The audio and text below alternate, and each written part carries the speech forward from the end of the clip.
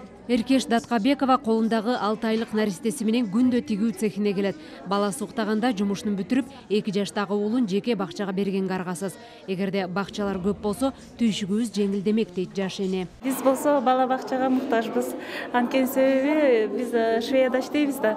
Бизде ар бирибизде экиден үчтөн балдар бар.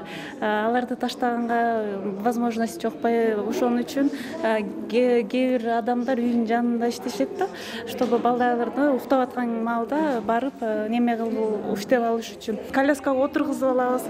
Анткени э, отургузгум да келбейт ынтип иштейм. Бирок айла жок. Анан баламды да чаңга аралаштыргым келбейт. Айла жок ушундай немеге барып атабыз. Тигүү цехинде эки жүздөн ашык кыз келиндер иштесе көпчүлүгү балдарын үйүнө жалгыз калтырып жумушка келишет.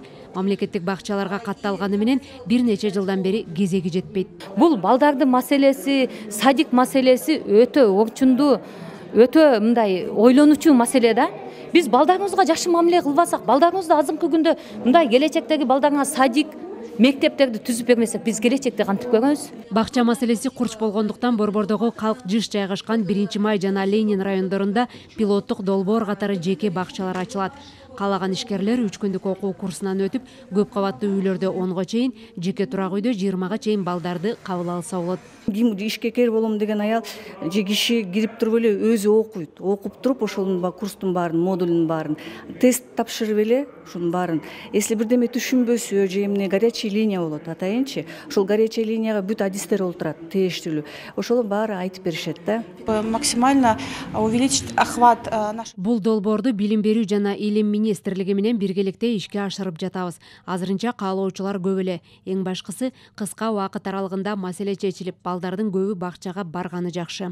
Учурда өлкөдө бакча жашындагы балдардын саны бир миллион эки жүз миңден ашса да алардын жыйырма төрт пайызы гана бакчага барат. Калган тогуз жүз миңден ашык балага бакча жетпейт. Эки миң жыйырма сегизинчи жылга чейин калк арасында өсүү темпи байкалгандыктан наристелерге баштапкы тарбияны билим берүү мекемелеринен берүү маанилүү болуп эсептелет элиза нурматова умар малашев ала тоо жыйырма төрт